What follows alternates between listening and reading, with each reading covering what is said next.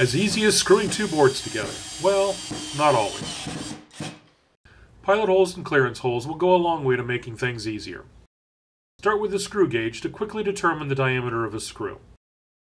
A little drag is okay, but for a clearance hole the screw should move freely.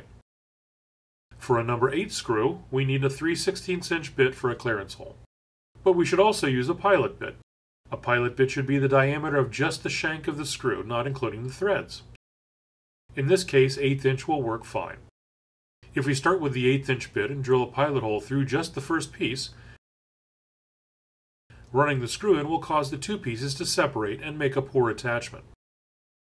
A pilot hole through both pieces will work better, but the threads grabbing in both pieces will keep them from pulling tightly together. The best method is to make a clearance hole in the first piece and a pilot hole in the second.